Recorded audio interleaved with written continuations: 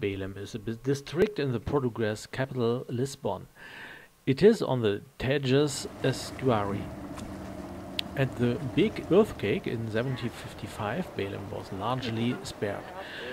Therefore, we find here today numerous historical sites. The Torre de Belém is one of the best known landmarks in Lisbon.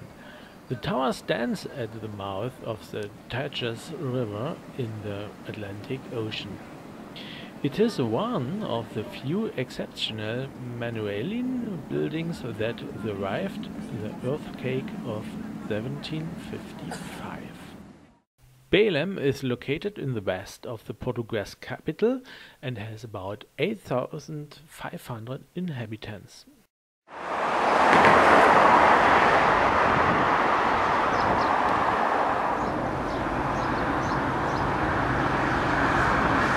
The Torre de Belém is surrounded by a small park. The tower belongs to UNESCO World Heritage.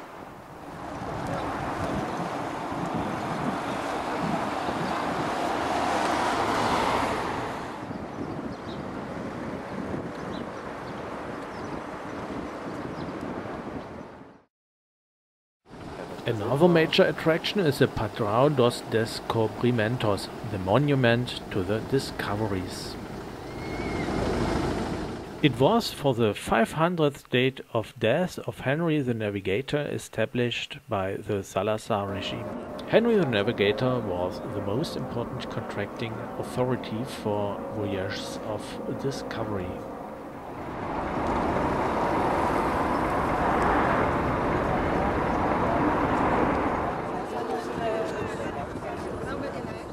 On the ground in front of the monument, the roots of the Portuguese discoveries are in the 15th and 16th century shown.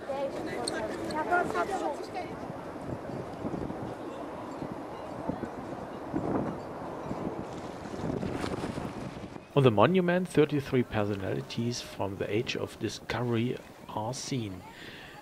Besides sailors as Pero Escobar, Vasco da Gama and Ferdinand Magellan, you can see kings, princes, poets and historians.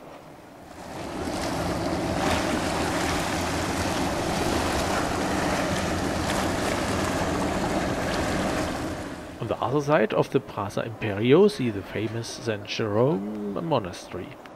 The floodlights behind the monastery launching to the stadium from Belenenses, Lisbon. Back to the monastery, which is a UNESCO World Heritage Site. It is probably the most important building in the Manueline style. Manuel I there was commissioned shortly after Vasco da Gama returned from his first trip to India. It's not wonder that Vasco da Gama found his last resting place here. The building is around 300 meters long and has richly decorated limestone facades. It was a real major project.